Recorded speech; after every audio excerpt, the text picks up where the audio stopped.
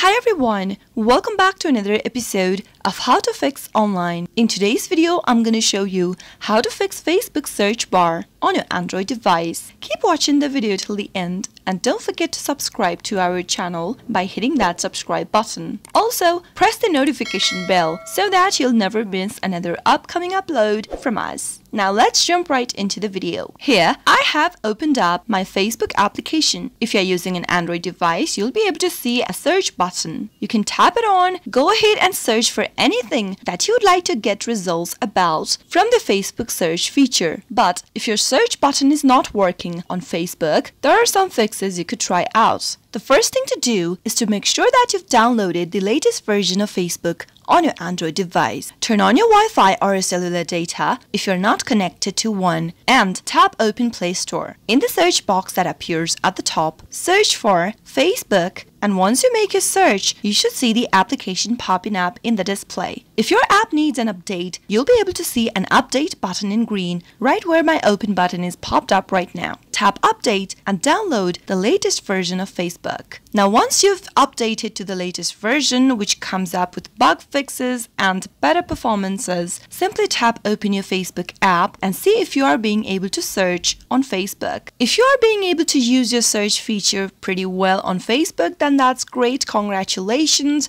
you can stop right there. But if it is not being able to help you with your problem, then the next thing to do is to go ahead and clear out your app cache from your Android device. Search for the settings button and tap it on. From the settings menu, select apps. Go ahead and search for Facebook from the list of the apps displayed on the screen. Tap on Facebook and from the app info page, first force stop your application by tapping on force stop at the lower right hand corner. In the pop-up, click OK. Now tap on the storage button from the app info page which will take you to this page over here. Clear out all of your cache data from Facebook app by tapping on Clear Cache at the bottom right hand corner. You can also clear your Facebook data that resets your application completely by clearing out its data as well. Tap on Clear Data at the bottom left-hand corner and make sure that you remember your credentials for your Facebook account. Once you do, tap on OK. Now, go back to Facebook app from the app drawer, log into your Facebook account by entering your credentials and see if that fixed your issue. Those were some of the fixes you could try out whenever you're not being able to find your search bar or if you can't search on Facebook. I hope the tutorial was helpful to you.